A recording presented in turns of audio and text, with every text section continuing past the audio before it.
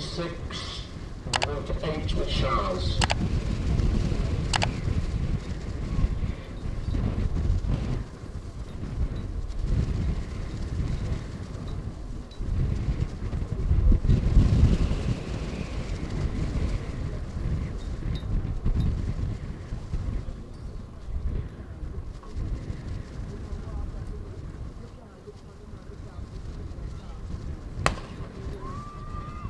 It's a perfectly good start.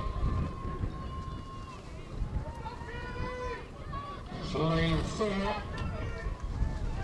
Oneka Wilson showing a clean pair of heels to the rest of the field. Oneka from the Hydel High School in Jamaica. And she gets a winning time of 14.13 seconds.